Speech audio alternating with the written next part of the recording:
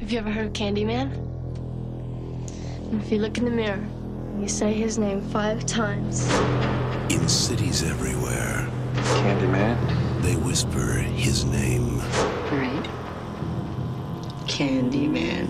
It's just a story, Candyman. Candyman. just a ghost story. Candyman. An entire community starts attributing the daily horrors of their lives to a mythical figure. The legend first appeared in 1890. He was attacked, mutilated, and burned to death.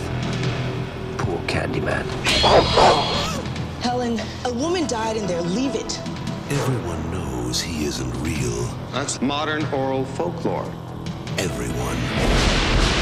Except Helen Lyle. Bernadette. It ain't safe around here. I don't scare too easy. Wanna know about Ruthie Jean? They ain't never gonna catch him. Who? Candyman. Who is that? I came for you. Do I know you? Now she is about to discover Helen? Get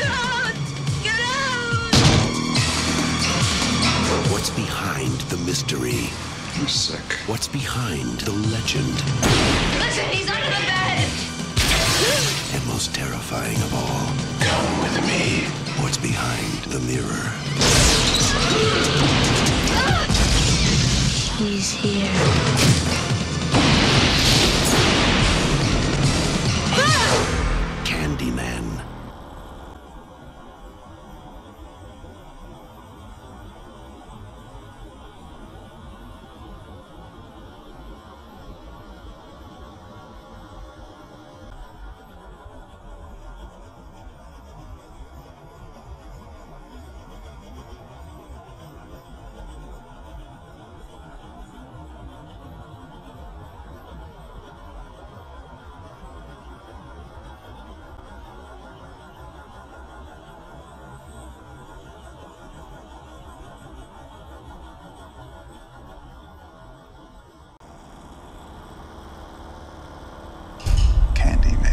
The urban legend is if you say his name five times while looking in the mirror, he appears in the reflection and kills you.